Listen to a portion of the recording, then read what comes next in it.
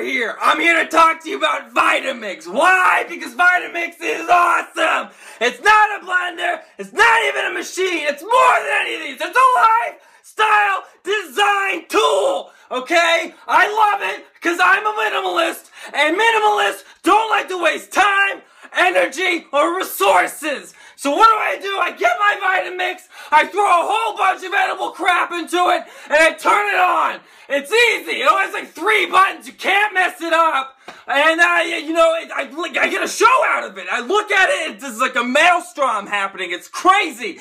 Uh, it stops. Obviously, it has to at some time. I pick it up, the pitcher. I get a glass. It's a glass. I put it in. I do this three times a day. I swallow the contents. It's super easy. I've always said that there's a way to get all my nutrients, macro, micro, into my body in as quick as time as possible, uh, I do it. And with the Vitamix, I finally freaking can. It's awesome. So go ahead and get yourself one or eight. I don't care. Just get one. I got five. Uh, for your relatives, for your family, for your friends, for your more relatives that are also family. I don't care.